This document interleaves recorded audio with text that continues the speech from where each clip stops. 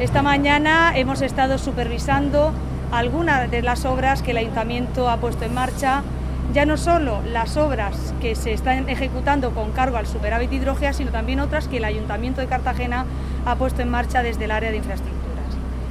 Para este año 2020 fuimos muy claros y dijimos que queríamos que el presupuesto sirviera no solo para ayudar a la gente que está mal, sino para que a través de la iniciativa de obra pública poder generar empleo en el municipio y reactivar la economía y las empresas del municipio. Y hoy hemos podido comprobar cómo ya están en la calle eh, algo más de una docena de obras, estamos hablando de algo más de un millón de euros, pero es que a lo largo de esta semana también se van a licitar otras seis más, de otro millón de euros más, y hablamos que en esta semana con estas obras se habrán generado algo más de 200 empleos.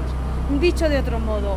el presupuesto como una herramienta capaz de reactivar económicamente el municipio,